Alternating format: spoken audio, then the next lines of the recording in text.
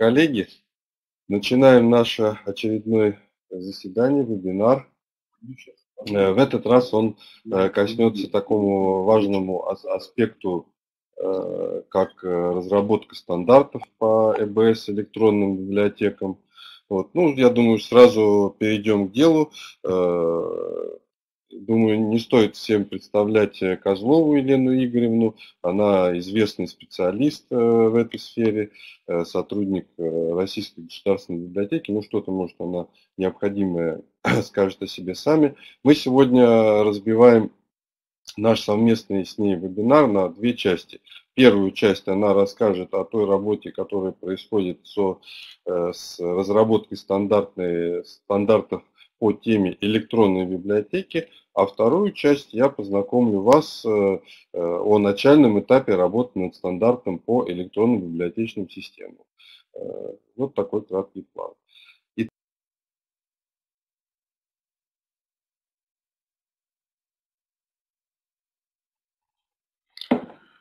Здравствуйте, уважаемые коллеги. Меня слышно? Здравствуйте, уважаемые коллеги.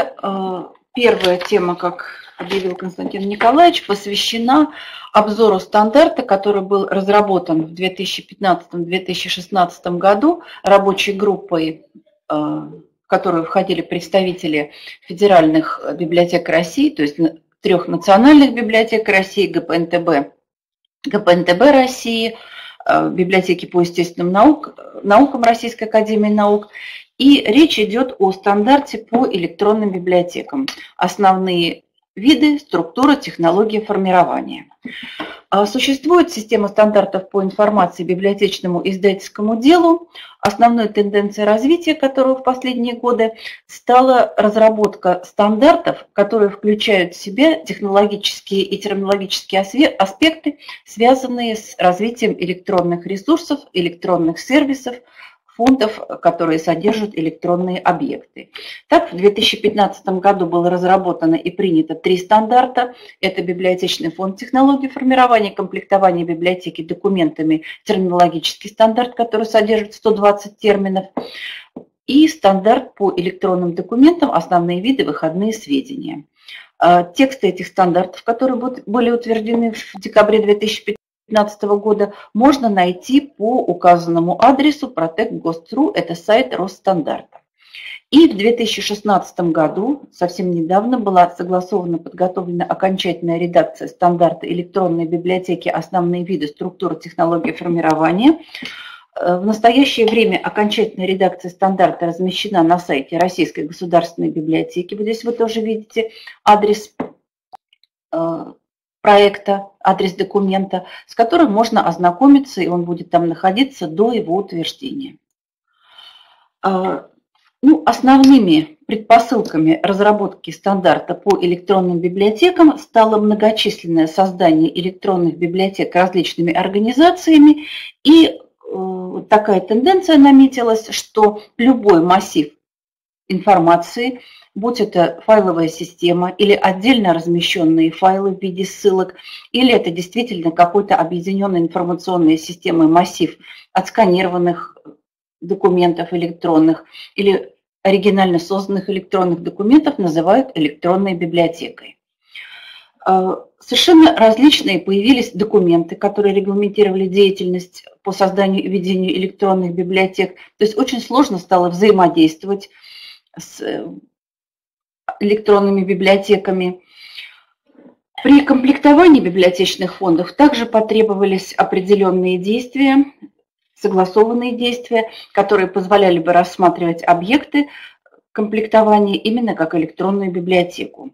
Э, для комплектования и для использования электронных библиотек стало очень важно разработка неких рекомендаций и характеристик для оценки и, самое главное, для сравнения отдельных электронных библиотек, потому что появление значительного количества электронных библиотек и электронно-библиотечных систем привело к тому, что понадобилась некая сравнительная оценка, что лучше, что больше подходит.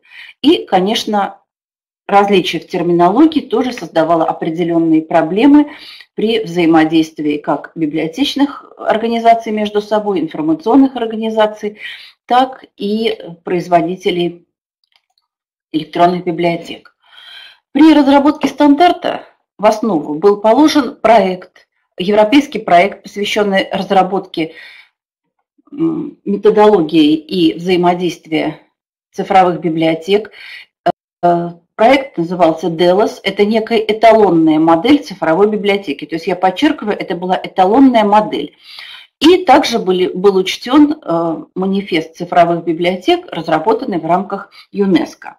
Э, эти документы были взяты в основу разработки стандарта, потому что международного стандарта на сегодняшний день по электронным библиотекам не существует. Есть только определение электронных библиотек в одном из международных стандартов.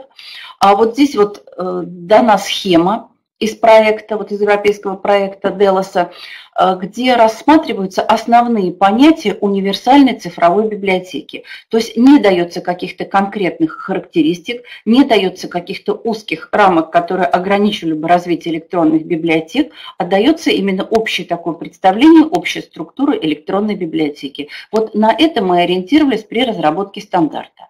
Ну, естественно, по правилам стандартизации мы основывались на международные стандарты.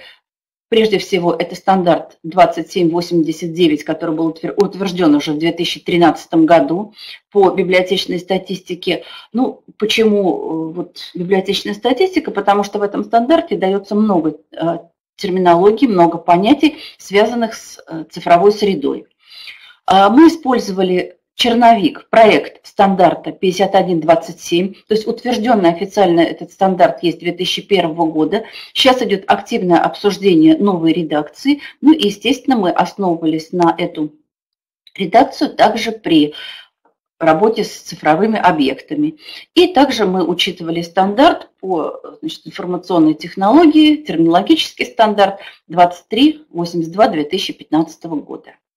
Кроме того, при разработке стандарта были учтены российские нормативно-правовые документы, потому что стандарт национальный, и основная особенность национального стандарта – это как раз учет э, правовой сферы при разработке положений стандарта. То есть это закон о СМИ, о средствах массовой информации, это закон о библиотечном деле, это закон об информации, информационных технологиях и защите информации.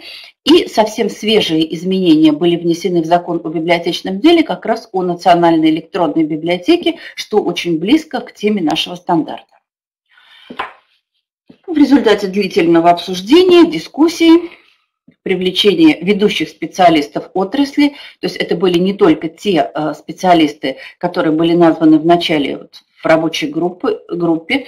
А в обсуждении при, приняло участие очень много специалистов как э, библиотечной сферы, информационной сферы, издательской сферы. И в результате вот э, стандарт получил вот такую структуру. То есть э, термины определения, которые относятся к сфере действия данного стандарта, виды электронных библиотек, структура, состав электронной библиотеки, функциональность электронной библиотеки, технология формирования, организация и архитектура. Как видите, структура, она в общем, не совсем повторяет, но близка к тому проекту европейскому, о котором я говорила в начале. А, и здесь я кратко сейчас остановлюсь на тех раздел, разделах стандарта, которые были сейчас перечислены э, в структуре, в содержании, и остановлюсь на основных, наиболее важных э, значениях, которые были приняты в стандарте. Ну, первое, что вызвало наиболее длительную дискуссию при разработке стандарта, это само понятие электронной библиотеки. Существует несколько десятков определений электронных библиотек. А, существуют кальки, переведенные, как правило, с англоязычных э, материалов, э, цифровая библиотека, электронная библиотека. Э, существуют различные толкования этого термина. Ну вот здесь вот было все-таки принято такое коллективное решение было, что электронная библиотека – это прежде всего информационная система. И эта информационная система имеет свою специфику э, по сравнению с э, другими информационными системами. То есть она является видом информационной системы, э, обязательным условием которой является наличие упорядоченного фонда электронных объектов и обеспечение доступа к ним с помощью единых средств навигации и поиска. Единых средств это тоже является ключевым понятием. То есть таким образом, если мы имеем какой-то э, набор, отдельный набор файлов, которые представляют собой там э, электронные книги, электронные документы, то мы не можем назвать вот этот набор файлов электронной библиотекой. И второе, что очень важно, что также вызвало достаточно длительную дискуссию, введено понятие оператор электронной библиотеки. Понятие оператора пришло из 149 федерального закона об информации, информационных технологиях и защите информации – Э, вообще употребляются различные термины и владелец э, электронной библиотеки, и создатель электронной библиотеки. Но в данном случае вот было принято тоже такое коллективное решение, что оператор – это гражданин или юридическое лицо, осуществляющее деятельность по эксплуатации информационной системы, в том числе по обработке информации. И принятие вот этого термина ну, в значительной степени облегчило нам, конечно, работу с э, дальнейшим материалом. А, на что еще хотела бы обратить внимание в разделе «Термины определения» дано определение фонда электронной библиотеки и наряду с фондом дано определение коллекции электронных документов. То есть коллекция электронных документов является частью фонда. Почему на это обращаю такое особое внимание? Потому что в англоязычной терминологии фонд обозначается как collection, и у нас достаточно часто это переводится как коллекция, распространяя это на все значение фонда. То есть таким образом мы вот провели такое разделение. Есть фонд электронной библиотеки, это все, что есть, э, все объекты, которые есть в электронной библиотеке, а коллекция – это некое собрание объектов. А, следующий раздел – это основные виды электронных библиотек. Выделены виды электронных библиотек по способу создания, по способу организации, то есть вот по способу организации, видите, самостоятельное встроенное, то есть то, что называется встроенное еще гибридное у нас часто называется. Когда она вместе, то есть когда она или является частью другой электронной библиотеки, или она является частью э, общего фонда. А, по типу доступа выделяется вид электронной библиотеки и по статусу. Ну, здесь все статусы э, не представлены, это можно посмотреть в проекте стандарта, но выделены основные статусы, которые могут быть у электронной библиотеки. А следующие – это элементы электронной библиотеки. Из чего состоит модельная электронная библиотека? Это прежде всего фонд электронной библиотеки, это информационное и лингвистическое обеспечение, это программное обеспечение, включая интерфейс пользователя, техническое обеспечение, которое содержит аппаратные средства и средства связи в том числе. То есть таким образом мы имеем э, выделенные элементы электронной библиотеки, каждый из которых можно рассматривать более-менее подробно. И самое главное, когда мы говорим о каких-то отдельных специфических видах электронных библиотек, то как раз специфика этих видов электронных библиотек, она может отражаться в отдельных элементах. То есть таким образом мы сегментируем, сегментируем общее понятие и можем выделять в этих сегментах специфические детали. Э, фонд электронной библиотеки по тому, как это представлено в стандарте, состоит из фонда пользовательских копий, то есть то, что доступно всем пользователям, из фонда резервных копий, это обеспечение сохранности, и фонд страховых копий для обеспечения долговременной сохранности. Еще раз обращаю внимание, что это не жесткие рамки, что электронная библиотека обязательно должна иметь все эти три фонда, но если электронная библиотека имеет фонды, то вот они делятся вот таким образом.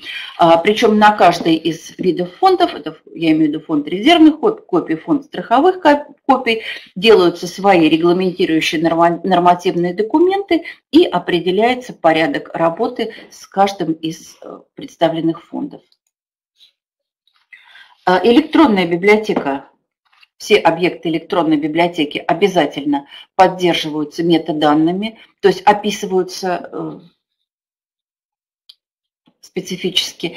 И виды метаданных, они представлены структурными метаданными, описательными метаданными и административными метаданными. То есть на каждый вид метаданных дается определение и предлагается их использование.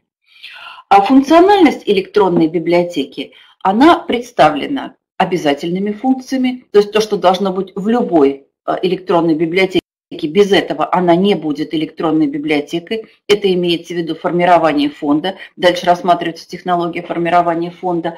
Это хранение и актуализация данных.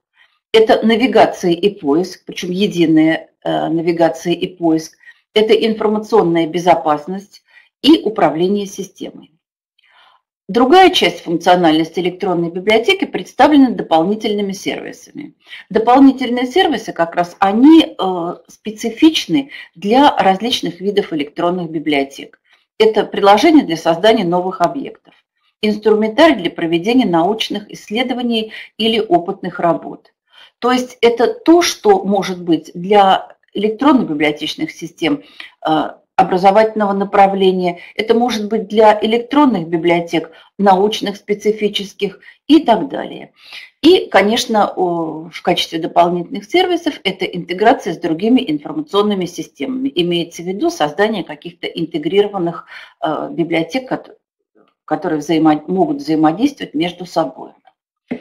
Э, в части организации электронных библиотек рассматривается политика электронной библиотеки, дается определение, что это документированный набор правил и принципов, регламентирующих деятельность конкретной библиотеки, и э, указано, что политика электронной библиотеки определяется в основном регламентирующем документе, который может иметь различные названия. Это может быть и положение об электронной библиотеке, это может быть устав электронной библиотеки и так далее. И регулируется с помощью качественной оценки. То есть электронная библиотека, любая электронная библиотека должна быть организована, должна иметь э, свою прописанную, свой прописанный регламентирующий документ. И последний раздел – это архитектура электронной библиотеки. А в разделе «Архитектура электронной библиотеки» не рассматриваются какие-то определенные технологии, не рассматриваются какие-то конкретные форматы, а рассматривается именно общее направление организации информационной системы. Рассматривается возможность организации архитектуры по способу хранения, что может быть там локальный, облачный, по способу организации централизованной, распределенной, и подчеркивается, что архитектура вот электронной библиотеки не связана с электронной библиотекой. Таким образом, Разрабатывая этот стандарт, мы постарались э, описать некую общую универсальную модель электронной библиотеки, и на основе вот этого документа, на основе вот этого методического рекомендательного, скажем так, документа можно создавать уже дальнейшие какие-то конкретные э, направления, развивать какие-то конкретные направления для отдельных видов электронных библиотек. Спасибо.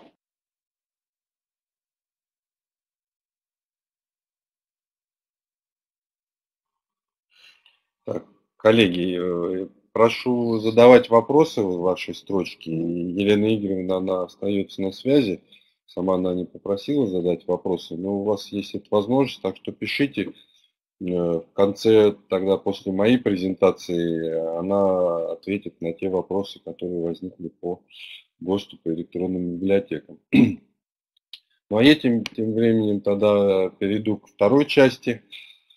Значит, как вы видели, электронные библиотеки, понятно, это самое широкое понятие, которое только вот в нашей сфере может встречаться. И сам ГОСТ, он э, разработан, на мой взгляд, взгляд как э, некая философия подходов, а, различных возможностей. Сюда а, многообразные виды и подвиды электронных библиотек могут войти и частных лиц, и государственных организаций, и для образования, и для досуга, э, всего чего угодно. Э, в то время как вот э, то, к чему мы переходим сейчас, это уже весьма специальный как раз вид электронных библиотек, электронной библиотечной системы. Э, ну, я больше буду рассказывать не, в отличие от Елены Игоревны, не о уже конкретных как бы решениях, э, э,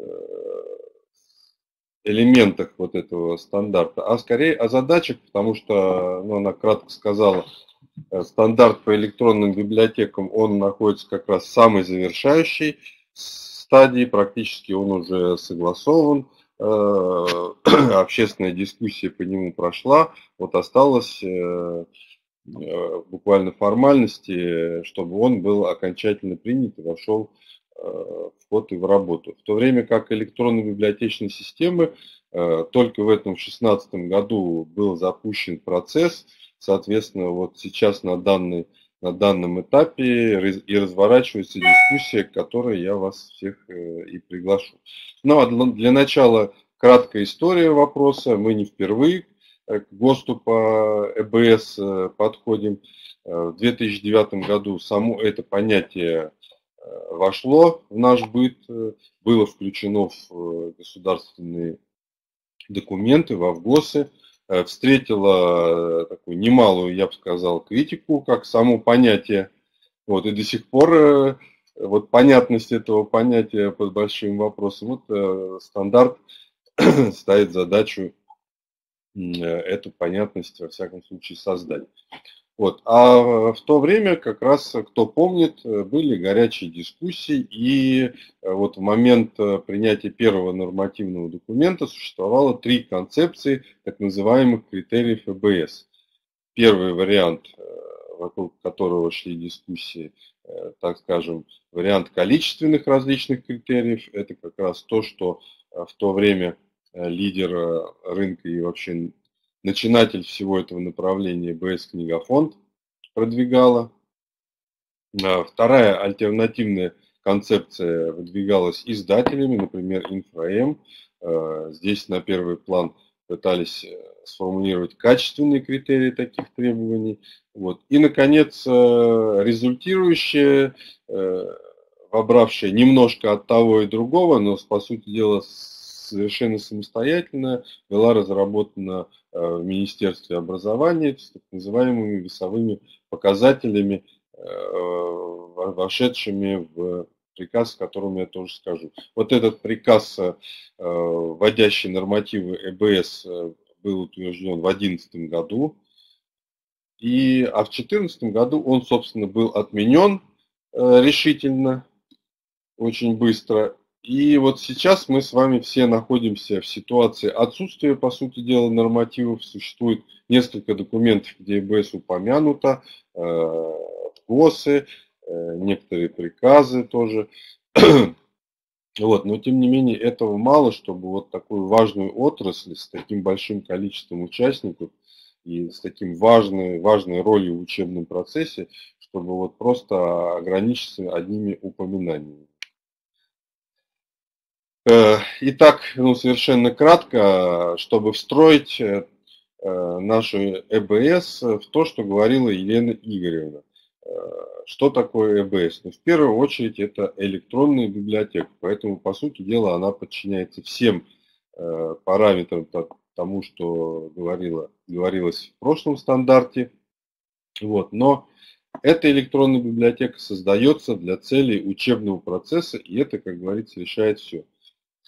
Э, о, о чем должна речь вести э, в этих стандартах? Э, ну, по сути дела, о трех процессах, которые реализуются в ходе разработки создания EBS. Что делаем мы и разработчики? Во-первых, большой пласт работ связан с разработкой программной оболочки. Ну, это, по сути дела, наша повседневная работа вот по созданию автоматизации работы, функционала и так далее. Вот. Второй очень большой пласт э, связан с созданием фонда ЭБС, агрегация контента, заключение лицензионных соглашений. И здесь э, возникает очень важная э, связка с правообладателями, со всем издательским миром, с которым мы кон, контактируем.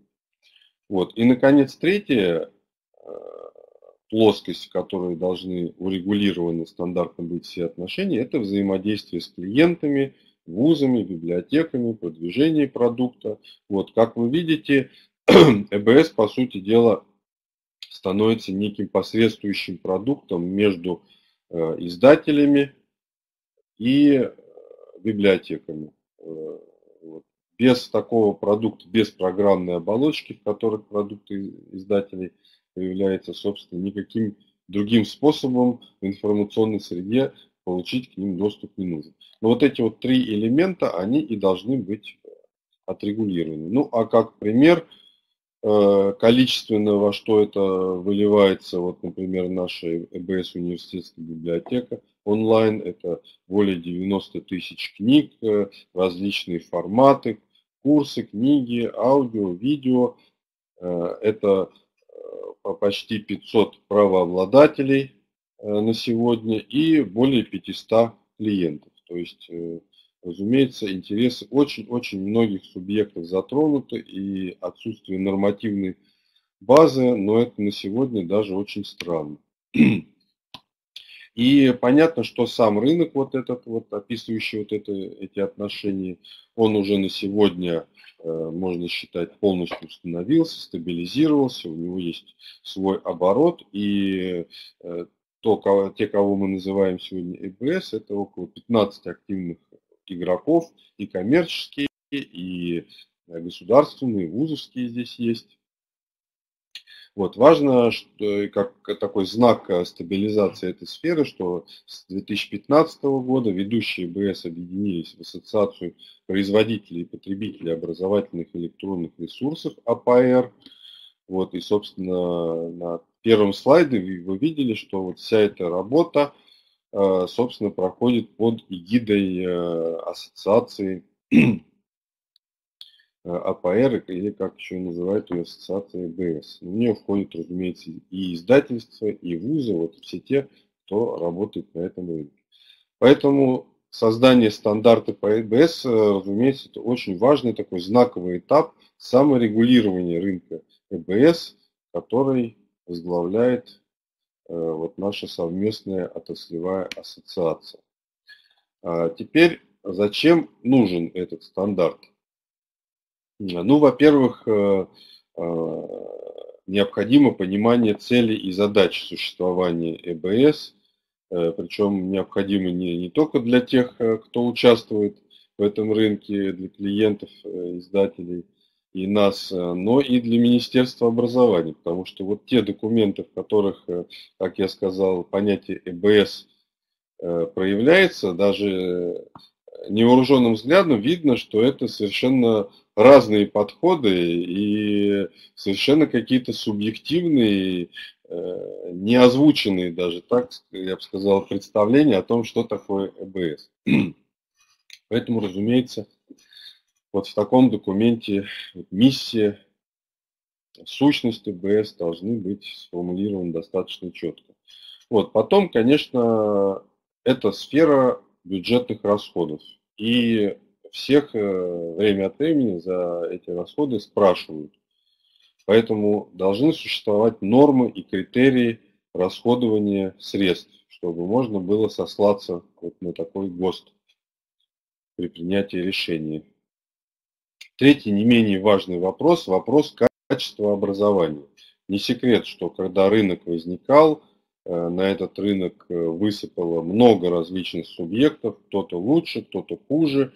Сразу возникли споры о том, что является качественным. Ну и стандарты всегда создаются для того, чтобы обеспечить какой-то вот минимальный планка, обеспечить гарантию некоторого уровня качества для общей системы образования.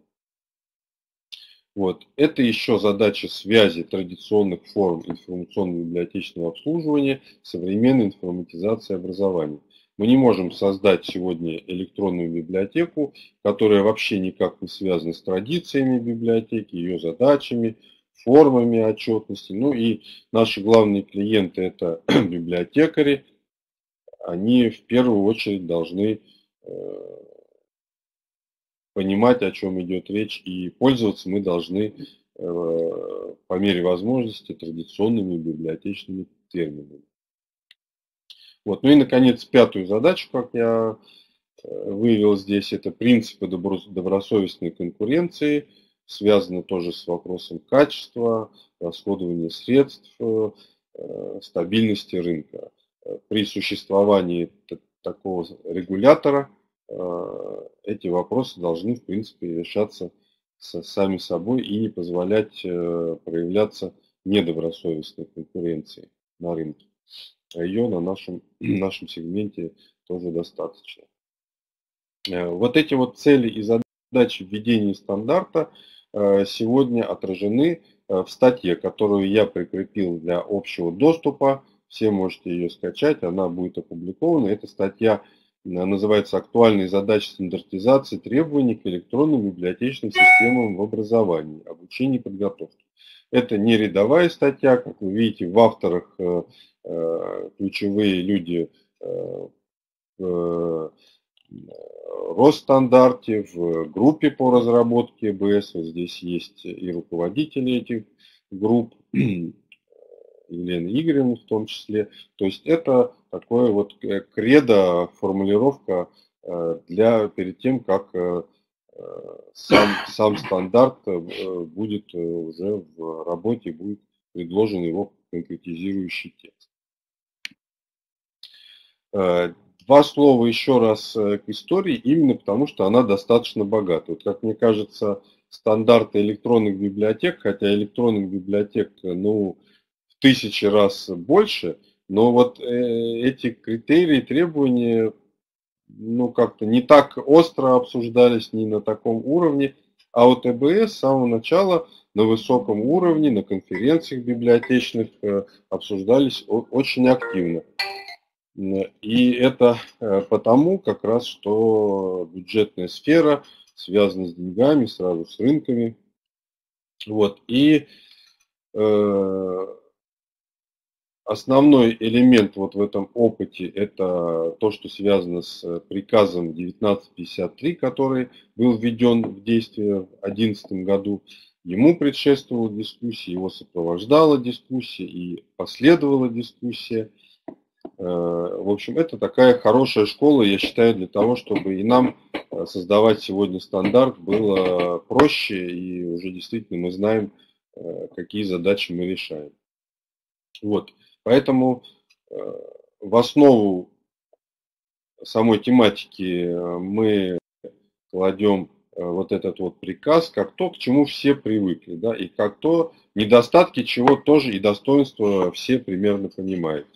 Вот. А дальше уже мы пытались обобщить именно то, что не вошло э, тогда в нормативную базу, но зато очень выплеснулось в дискуссиях и обсуждениях профессионального сообщества из чего состояли вот эти элементы, которые нам уже более-менее знакомы. ну вот в том э, известном вам приказе были сформулированы несколько технических, именно которые сегодня нас интересуют, требований.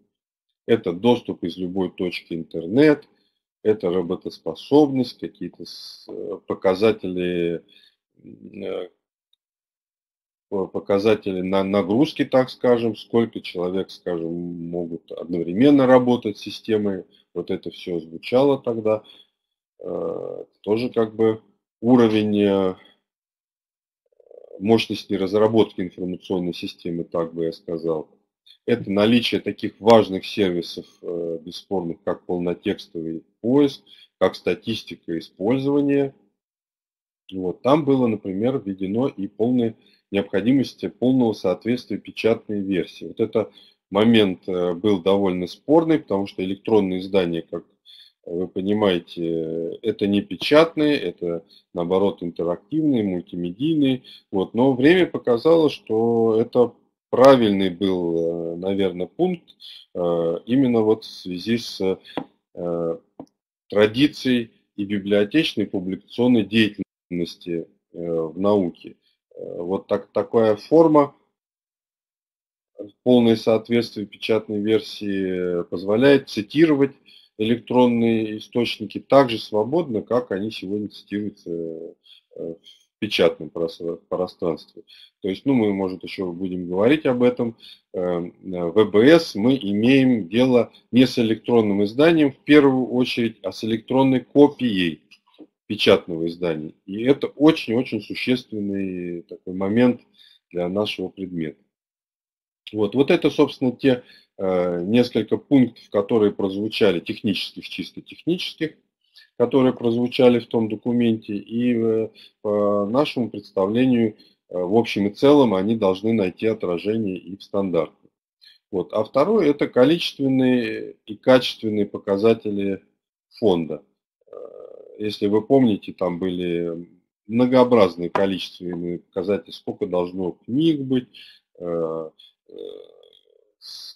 сколько должно быть направлений УГС, там, АКСО, Э, вот. вот это была попытка э, навязать рынку определенную форму ЭБС, так сказать, мега ЭБС, какую-то мощную, э, крутую, а именно книгофонд. Вот это, по сути дела, никак не осталось, и ясно сегодня, что может быть очень небольшая издательская ЭБС, которая, тем не менее, тот контент, который нужен, предоставляет, и никаких здесь вопросов нет. Есть подписчики, пожалуйста. Вот, поэтому вот такие вот показатели, видимо, никак не отразятся в, в ГОСТе. Вот, к ним еще относится важный момент э, в том приказе, э, увязывалось соответственный срок издания литературы требованию ГОСов, а это 5 лет для гуманитарной, 10 лет для технической сферы. Вот, э, в ходе вот сегодняшних дискуссий мы приходим к мнению, что это все-таки те показатели, которые Министерство образования конкретно в ГОСах, э, каких-то своих нормативных э, документах э, устанавливает, это такие временные контекстуальные, конъюнктурные даже иногда параметры, которые не должны учитываться в стандартах, которые все-таки на более долгий срок который более технический характер э, носит. Вот это, э, наверное, там не должно войти. Вот. Еще также была особенно острая дискуссия о качественных требованиях, которые тоже вот э, под вопросом, должны ли они присутствовать в стандартах. Например, наличие грифа. Еще там 10 лет назад это было главное качественный показатель э, литературы. Вот, но сейчас он ушел из нормативных э, документов Минобра, и постепенно вот эта дискуссия угасла, потому что гриф сегодня не гарантирует там действительно какого-то качественного издания. Ну и отменен он, он был именно потому, что это уже была тоже борьба каких-то там лоббистских усилий или чисто денежных вливаний. Ничего он не гарантировал. Вот. Во время этих э, дискуссий нашей работы еще один параметр качественных требований возник, например, гарантированная сохранность книг на время подписки. То, что из АБС книги уходит, э, это волнует всех очень сильно. Но вот эти вопросы и вообще коммер... они связаны больше с коммерческой стороной деятельности, на какие сроки, на каких условиях э, получаются права. Вот это большая проблема, но вот все, что э, касается содержательной, э, такой коммерческой стороны, то, что вот не имеет напрямую дела вот с техническими показателями, все это очень сложно относить, э, отразить э, в стандартах. Вот, вот, собственно, этот файл э, ставит вопрос, который я уже о котором я и говорю, могут ли стандарты регулировать качество контента. Вот если мы обратимся к этому вопросу качества, который всех очень интересует, то это наличие востребованных, используемых в процессе изданий, наличие очень важных, э, необходимых жанров, в первую очередь учебники, учебная литература, э, смежная там справочная литература, переводик. Это полнота отражения предметных профилей, это качество предоставленных книг, вот те же грифы, это качество метаданных, каталога, библиографических описаний, это формат и качество отражения самой книги. Вот. Это, э, конечно, очень много таких вопросов, э, которые вот немножко ускользают от э, формализации ну, например, качество научной работы, мы знаем, определяется в первую очередь наукометрическими показателями цитируемости этой, работы. Но это вот никак не отразишь в стандарте. Учебная литература определяется широтой использования в учебном процессе. Э, качество литературного текста, эффективной методики, глубины изложения материала, но это все тоже очень сложно отразить формальными методами. Поэтому вот мы э, фокусируемся на то, что ГОСТ должен быть и техническим, достаточно бесспорным э, таким стандартным документом, а о качестве как раз всегда спорит, это во многом субъективным, субъективный момент. И вот такие элементы, э, они как раз не должны войти, не входить в стандарт. Вот если у вас э, не согласие с, с, с, такой постановкой вопроса, с этим мнением, то вы пишите, э, мы это вот все в конце обсудим. Вот, итак, я передаю, перехожу, вернее, к процессу уже реальному реализации нашего стандарта. Итак, э, еще в 2015 году э, в МГТУ Станкин, а это вот базовая организация технического комитета по стандартизации, который называется информационно-коммуникационные технологии в образовании, зарегистрированным при э, Росстандарте, Федеральном агентстве по техническому регулированию метрологии. Вот, вот этот вот э, постоянный комитет, э, он зарегистрирован международной организации ISO и МЭК э, и вот при нашем Росстандарте. Он постоянно разрабатывает аналогичные стандарты, касающиеся информационно-образовательной среды, то есть IT в сфере образования. Вот. На этом заседании было принято решение рекомендовать к разработке ГОСТы, касающиеся ЭБС электронных учебников. Вот. И, по сути дела, электронные библиотечные системы в 2016 году, в этом году уже и были запущены с электронным учебником, поскольку это совсем другой сегмент рынка, пока дело затормозилось. Вот, соответственно, э, была создана рабочая группа из двух подгрупп. И сегодня в полном режиме работает рабочая группа именно по стандартам ЭБС, для участия в которой мы и всех при, приглашаем. Это открытый процесс. Так, что произошло за, за, эти, за это время в чем заключается сейчас работа? Ну, сегодня готовится базовый такой основной вариант стандарта, который уже потом будет э, э, меняться, как-то дискутироваться. Вот. И этот вот базовый вариант черновой, так сказать, возникает э, тоже в горячих дискуссиях. В рабочую группу вошло около 20 организаций. Это и ЭБС, ведущие сегодня на рынке, это и издатели заинтересованные ну и, конечно, вузы.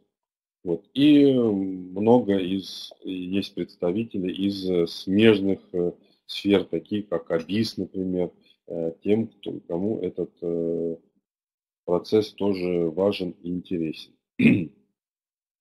Вот. Сегодня, ну, помимо того, что я сказал, помимо того опыта, который есть, возникли и новые темы дискуссии. Вот я буквально три таких вопроса назову. Ну, во-первых, э, к чему относится этот ГОСТ по ЭБС? К системе CBIT, то есть, тем, э, то есть системе стандартов по информационно-библиотечному делу, о котором и говорила Елена Игоревна Козлова, или это другой блок стандартов, касающий информационной образовательной среды вузов. Вот. В общем, поскольку, как вы видите, этот стандарт разрабатывается ТК-461, то и относится он уже совсем другой группе э, стандартов, э, то есть стандартов, э, стандартами информационной образовательной среды.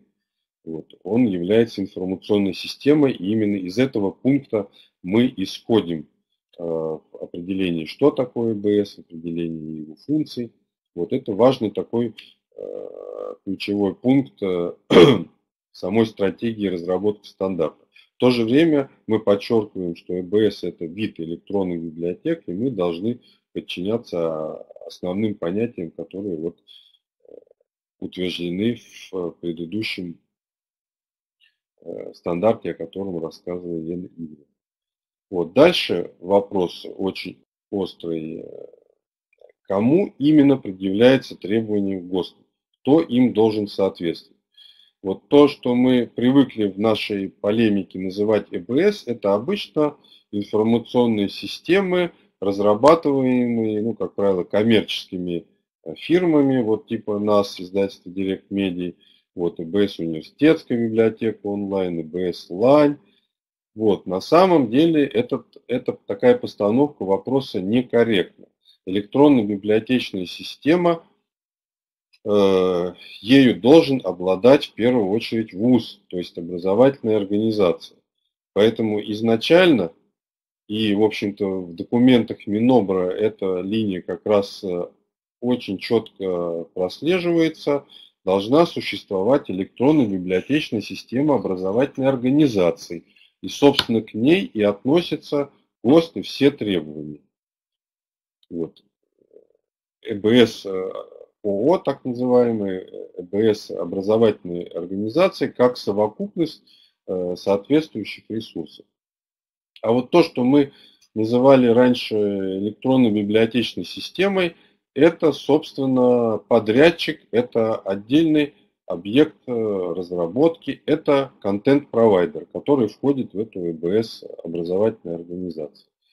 Вот, то есть, э, как вы понимаете, немножко сама пирамида переместилась, сам фокус зрения, и уже по сложившейся традиции мы вот в нашей дискуссии решили не менять как-то понятие, оставить электронную библиотечную систему э, как обозначение и для того, и для другого, но сущностные позиции эти совершенно разные. То есть в реальности все-таки базовой исходной является электронная библиотечная система образовательной организации, а уже она предъявляет такие требования вот к разным разработчикам, которые они должны э, выполнять. Вот, соответственно, вот к нам, как ЭБС, как э, университетская библиотека онлайн, к Direct Media, вот сами по себе не могут быть предъявлены требования, чтобы мы, например, там Э, предоставляли доступ в интернет или там книги из РПД, мы э, делаем, что хотим. Да? Но если мы хотим присутствовать в ВУЗе, в электронной библиотечной системе ВУЗа, то мы должны соответствовать всем, всем, всем э, требованиям, которыми ставит перед нами стандарт. вот в этом фокусе мы и становимся, по сути дела, электронной библиотечной системой. Вот, так что вот это разделение будет внесено в стандарт, и по сути дела это одно из э, новшеств, инноваций, которые вот во всю эту дискуссию будут э, включены. Этого не было в том приказе, о котором мы говорили раньше, во всяком случае, очень было неочевидно. Вот, еще вопрос, э, который сегодня дискутируется, о удобных понятиях, например, понятие оператора ЭБС. В прошлом стандарте Елена Игоревна как раз осветила, что это э, хоть и спорное, но очень важное понятие оператор электронной библиотеки, кто, собственно, ею руководит и э, использует. Вот, но мы пока решили как раз из-за того, что у нас очень э, опасное смешение понятий, этих ЭБС, решили от э, такого понятия отказаться, потому что по большому счету оператор ЭБС должен обладать очень большими полномочиями по управлению ЭБС и возможностями, скажем, э, создавать самостоятельно собственные вот такие совокупные сервисы, э, создавать программную оболочку какую-то специальную. Вот э, на сегодня э, я примерно представляю, что, что делается в вузах. Э, вот сказал бы даже такую радикальную вещь. Вот то, что мне кажется соответствует понятию оператора ЭБС, происходит, например, в Санкт-Петербургском государственном университете. Там ведется огромная работа по управлению ресурсами, которые у них в доступе. В том числе и создается собственный единый поиск, различный функционал доступа к различным электронным ресурсам. То есть это самостоятельно отделенная от самих, собственно, ресурсов некая сфера и оболочка. Вот это действительно ЭБС вуза и все остальные это лишь элементы.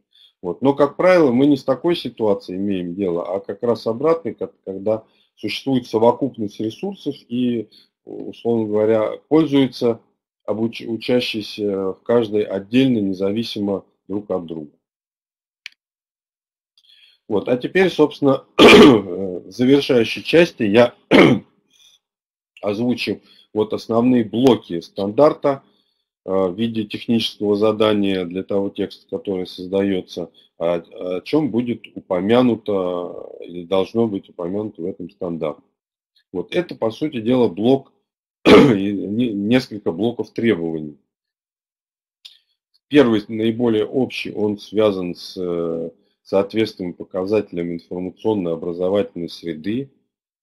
Это и регламент доступа, как он прописан во ВГОСах, это и необходимость э, отражения главной функции ЭБС участия в книгообеспеченности, в рабочих программах дисциплин.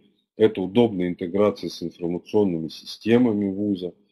Это разделение типов пользования, пользователей. Это версия для слабовидящих. И вот такие вот элементы, которые касающие, касаются базовых э, требований вообще предъявляемых к электронным ресурсам ВУЗа. Вот. Второй элемент – это юридические требования, которые тоже исторически уже практически сложились, такие как регистрация базы данных, регистрация ПО, ЭБС, регистрация электронного СМИ. Э, то есть эти документы мы, заключая контракты с вузами, сегодня поставляем, э, их требуют, это тоже какой-то показатель уровня разработки, э, что сделано не на коленке, а серьезными организациями, это некая ответственность. Вот это, я думаю, все останется, никаких революций мы внедрять не будем. Э, ну и, соответственно, это соответствие всем законодательным ограничениям, там, законодательство об экстремизме, о необходимости возрастных ограничений, о персональных данных и так далее. Вот. Второй блок э, связан с использованием ИБС в учебе и работе э, базовый функционал комфортной работы. Ну, это прежде всего такие э, бесспорные вещи, как наличие полнотекстового поиска ВБС, наличие личного кабинета, различных модулей, закладок, конспектов, возможности предварительного просмотра, фрагментов, э, возможность создания выборок, собственных э, тематических коллекций. Это такой ключевой параметр, как чтение на мобильных устройствах. То, что очень важно, я здесь э, подчеркнул чертой, полнотекстовый поиск и мобильное устройство, на мой взгляд, это абсолютно сегодня азбука. Но не думаю, не, не скажу для вас секрета, что во многих даже уже сильно присутствующих на рынке ЭБС вот этой функции нету. Это говорит о серьезном таком техническом отставании э, нашего рынка. А уж иметь для вуза такой ресурсы, э, которых нельзя пользоваться на мобильными устройствами или не существует полнотекстовый поиск, ну это просто абсурд. Вот. Дальше э, вопросы, которые касаются фонда и контента. Э, ну, требования к фонду, они во многом и в стандарте электронной библиотеки уже прописываются. Мы кое-что собираемся перенять. Например, наличие политики формирования БС. Вот сегодня никто эту политику не формирует, а это очень важный документ, который позволит э, клиентам и партнерам Э, четко понять, а что все-таки собирает эта ИБ, что в ней может быть и не следует искать. Э, это такая такая полезная штука. Вот. И второй пункт, который ключевой отличает ЭБС от всех остальных электронных библиотек, это легальность контента. Э, ну, хотя вроде бы все электронные библиотеки должны ему соответствовать, и контент должен быть легальным. Но вот уже сегодня понятно, что ЭБС, в отличие от всех-всех других электронных библиотек, отличается тем, что там контент прежде всего от прямых э, правообладателей, так скажем. От, э, это контент э, во многом коммерческий, э, и практически весь он представлен э, по лицензии. Паблик домен, как правило, никого не интересует. ВБС. И это налагает очень большой, большой спектр требований. Вот. Еще один блок – это требования к навигации и метаданным. Это тоже существенные вещи для работы в ВУЗе. Наличие полного грамотного библиографического описания, чтобы это все цитировалось, чтобы это все могло войти э, в карту книгообеспеченности, программы дисциплин – Э, в общем, это тоже есть далеко не у всех. Наличие таких вещей, как аннотации, содержание, возможность скачать фрагмент, тоже важно для работы. Наличие грамотного, качественного каталога, форм группирования контента по тематикам, сериям, темам, по таким э, важным для вуза параметрам, как УГС, ББК, и другим классификаторам. ЭБС как качественная библиотечная среда должна вот такие сервисы предоставлять. Вот. Ну и, наконец, э, особый блок требований – это касающийся именно работы с правообладателями, с защитой данных перед ними. Э, одно из важнейших условий, чтобы этот контент вообще появлялся в электронной среде – Э, гарантии для правообладателями, что он защищен, что его не смогут э, копировать и увести, потому что, как правило, издатели на этом живут. И, соответственно, стандарт ЭБС, он должен как-то тоже делать прозрачным доступ для правообладателя и вот эти гарантировать средства защиты. Ну, то, что файл не передается на компьютер другого пользователя произвольно – Э, находится в закрытой экосистеме, то, то есть, так сказать, антипиратские гарантии. Э, правообладателю должен предоставляться доступ к статистике внутри системы, он должен тоже видеть э, основные параметры пользования. Вот. И возможности различного удобного пакетного, покнижного подключения и отключения издательских ресурсов. Сейчас уже таких форм использования контента очень много, и, в принципе, каждая ЭБС базовые формы предоставления контента должна обеспечивать. Вот. И последний блок касается уже информационных сервисов ЭБС. А, во-первых, это требования к управлению ресурсами со стороны администрации или библиотеки, то есть наличие главного кабинета управления – где можно увидеть контингент пользования, где можно увидеть статистику использования, которая соответствует международным стандартам.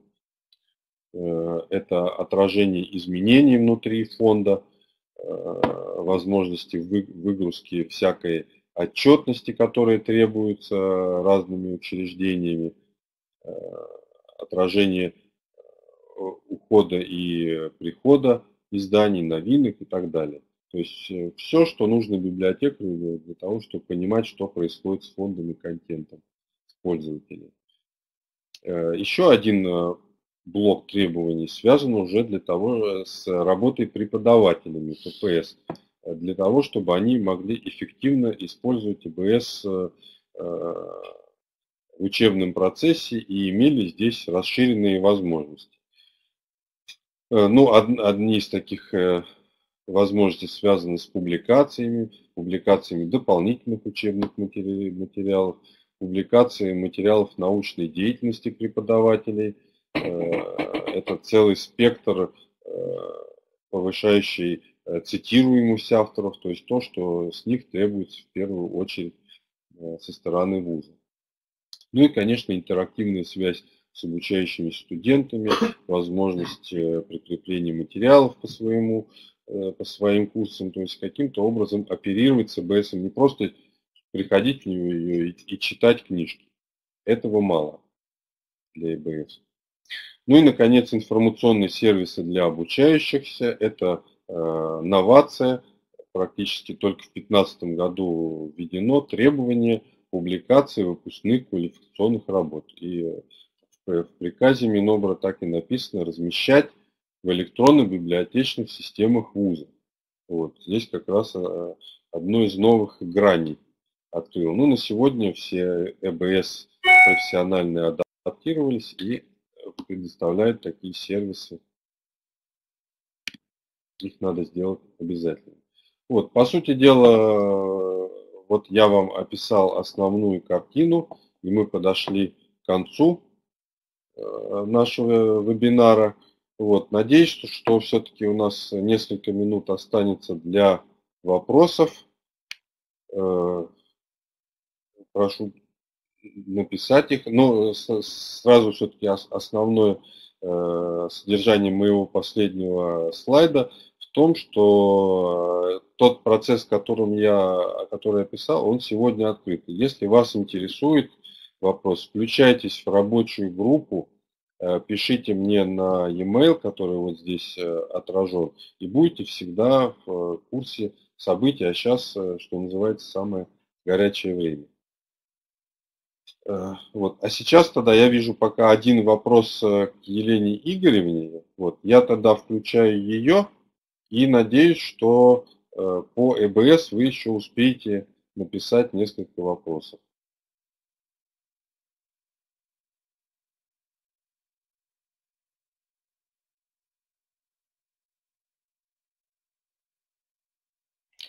Так, ну, вопрос, отражена, отражена ли в нормативах ответственность за создание, хранение и пользование электронной библиотекой.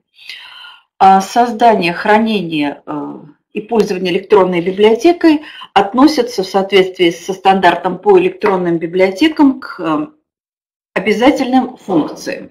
То есть есть некий, в стандарте описан некий набор условий, при котором данный массив будет считаться электронной библиотекой. И если данный массив мы считаем электронной библиотекой, то у него должна быть некая политика, то есть должен быть некий регламентирующий нормативный документ, который определяет обязанности а, конкретной электронной библиотеки. Значит, таким образом создание, ответственность за создание, хранение и пользование электронной библиотекой, конкретная ответственность, прописывается в конкретном регламентирующем документе.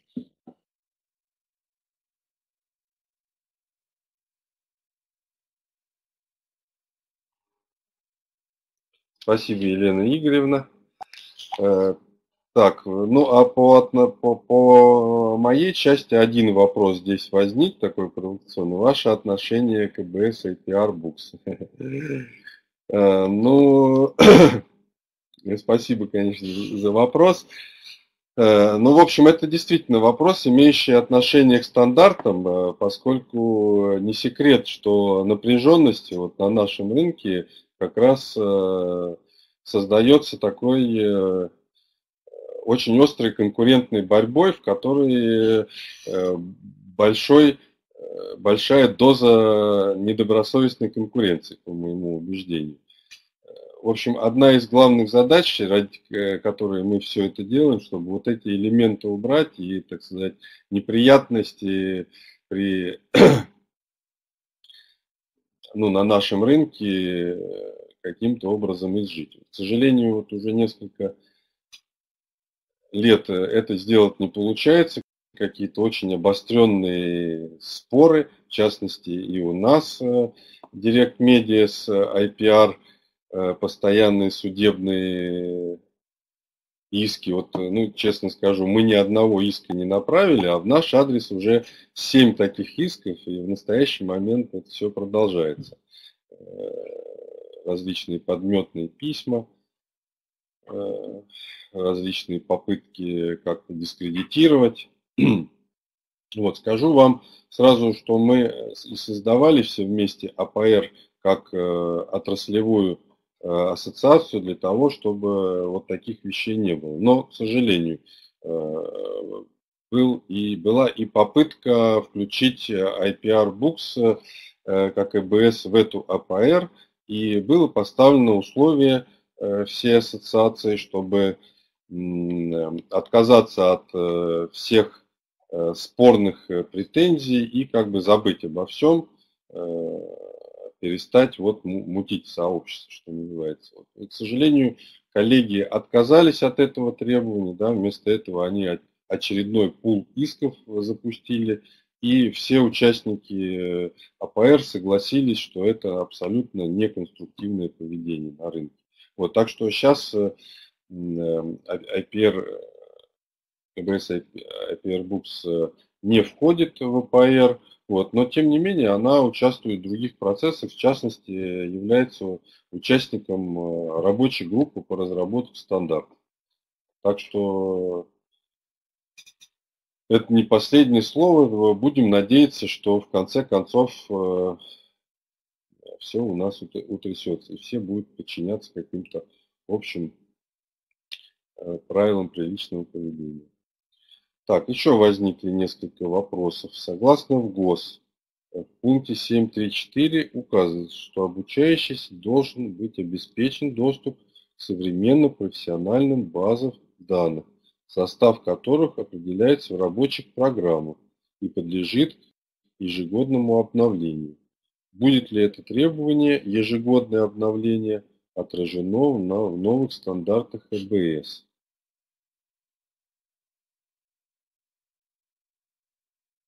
Да, интересный вопрос. Э, спасибо, да, его до сих пор вот в таком виде никто, кстати, э, не задавал. А, ну, видите, вот это, вот это требование, оно э, во ВГОСах заявлено шире ко всем электронным ресурсам, которые только есть. Да? И прежде всего к, к рабочим программам, которые должны, ну не то, что там записать какой-то список баз данных и там до скончания века.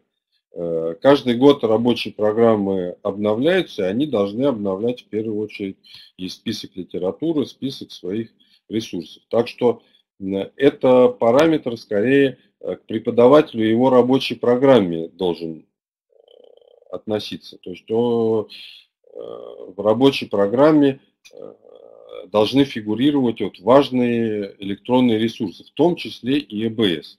Вот. И если, скажем, э, в этом году преподаватель пишет, нужен доступ к ЭБС IPR Books, да, а в следующем году он пишет, нужен доступ к ЭБС э, университетской библиотеки онлайн. Вот это и есть ежегодное обновление рабочих программ. Вот. А что касается нас, то мы и так постоянно обновляемся, у нас все меняется, э, мы, мы в постоянном обновлении. Вот. И вот я просто не вижу непосредственно, что вот э, такой момент касается именно стандартов. Да? Он касается не ЭБС еще раз, а преподавателя и его рабочей программы. Вот, собственно, на все вопросы, похоже, я ответил. Спасибо, что они были. Спасибо, что вы были вместе с нами и отнеслись э, серьезно, э, заинтересовались этим важным таким аспектом нашей деятельности общественной. Вот. Что ж, тогда еще раз приглашаю вас и дальше следить за этим процессом, включаться в него.